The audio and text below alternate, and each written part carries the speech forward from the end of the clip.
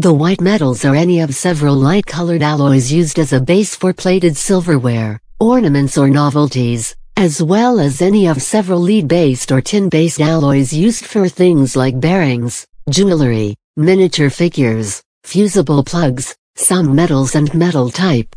A white metal alloy may include antimony, tin, lead, cadmium, bismuth, and zinc, some of which are quite toxic. Not all of these metals are found in all white metal alloys. Metals are mixed to achieve a desired goal or need. As an example, a base metal for jewelry needs to be castable, polishable, have good flow characteristics, have the ability to cast fine detail without an excessive amount of porosity and cast at between 230 degrees Celsius and 300 degrees Celsius 450 degrees Fahrenheit and 575 degrees Fahrenheit.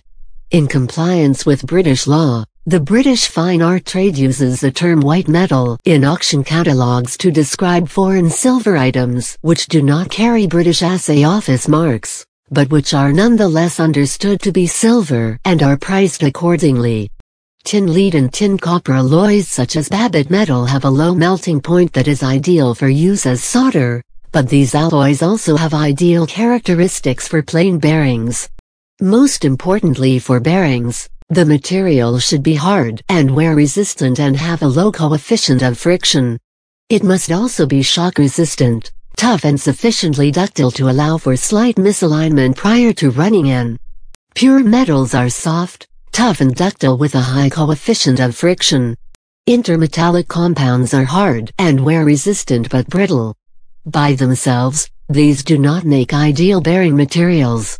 Alloys consist of small particles of a hard compound embedded in the tough, ductile background of a solid solution. In service the latter can wear away slightly leaving the hard compound to carry the load. This wear also provides channels to allow in lubricant oils.